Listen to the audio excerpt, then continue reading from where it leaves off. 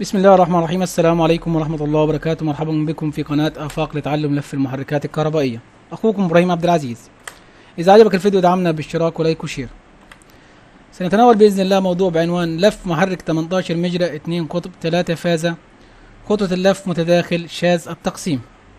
أي سرعة 3000 لفة في الدقيقة سرعة مجال 3000 سرعة دوران 2850 تحت 50 هرتز. سنتناول بإذن الله في هذا الموضوع كل من العمليات الحسابية الخاصة بالمحرك والتقسيم وخطوة اللف وإيجاد البدايات لهذا المحرك والتوصيل الداخلي لمجموعات كل فازة ورسم الانفراد الذي يشمل جميع ما سبق.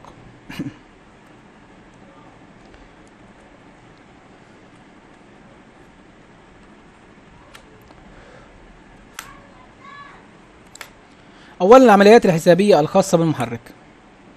نتناول أولا التقسيم تقسيم المحرك. عند تقسيم المحرك نقوم بتقسيم عدد مج... عدد آه، مجاري القطب الواحد. عدد مجاري تحت القطب الواحد تساوي 18 مجرى وهو عدد مجاري المحرك على 2 قطب وهي سرعة المحرك على تساوي معنا 9 مجاري لكل قطب. ثم نقوم بإيجاد عدد المجاري الفازة الواحدة تحت كل قطب.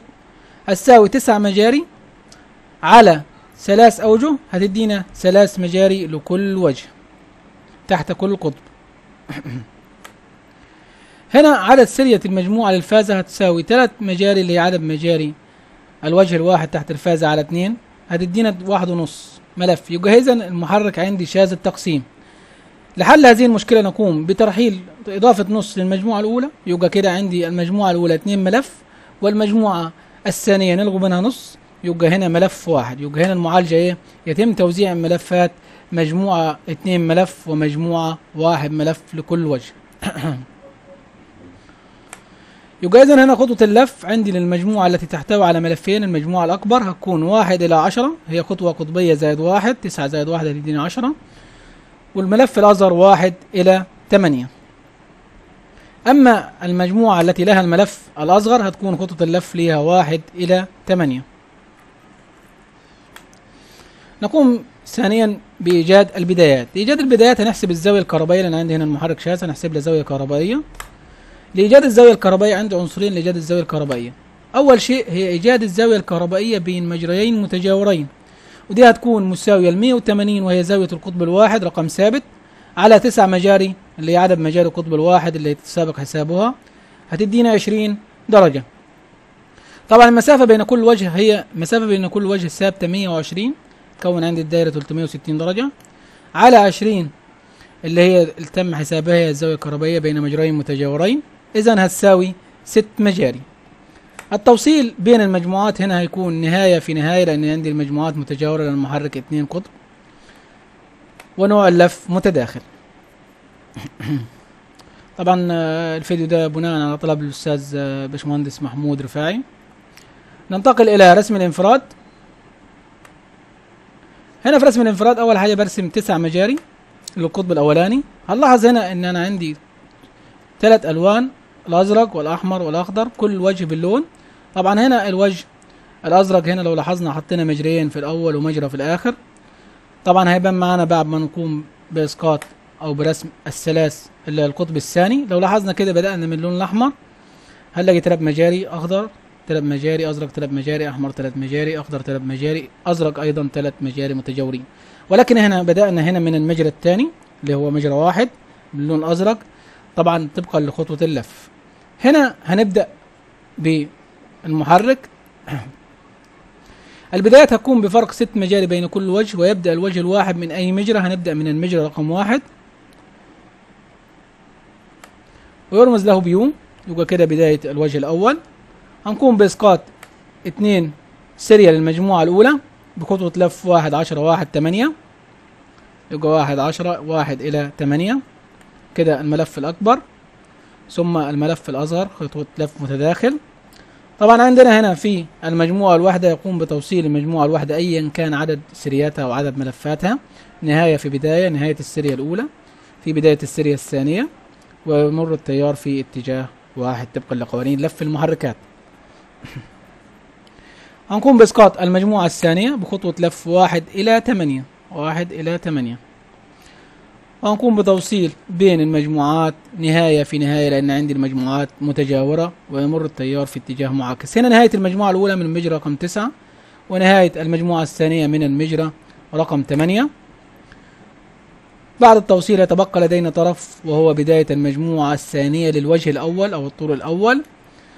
ويرمز لها بالرمز إكس وكده انتهينا من الوجه الأول. عند بداية الوجه الثاني يكون بفرق ست مجاري. هنا هترك ست مجاري من الوجه الأول من واحد إلى خمسة ستة. وأبدأ من المجرى رقم سبعة بداية الوجه الثاني. ويرمز له بالرمز V.